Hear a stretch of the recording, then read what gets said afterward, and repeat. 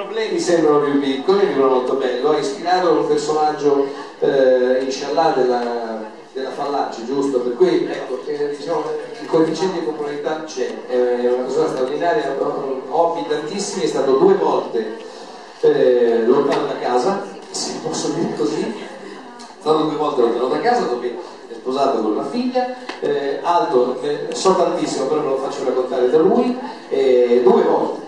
Eh, e poi eh, si è presentato con una maglietta dell'Inter eh, per cui la passione calcistica sportiva. Bene, gli altri sono diversamente interisti. Paolo Nespoli, un bel applauso andiamo grazie.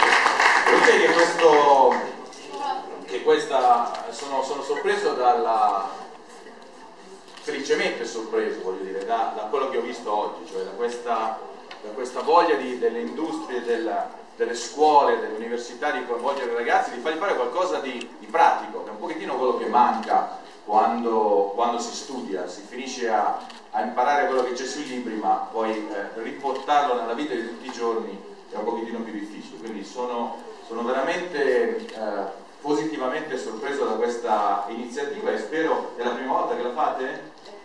Diciamo interprovinciale, Interprovin sì. ma insomma spero, credo, visti anche i risultati che continuate in futuro. Ok, basta con le foto! Grazie, arrivederci, buongiorno! No, eh, lei non vuole lì. Me ne faccio una così.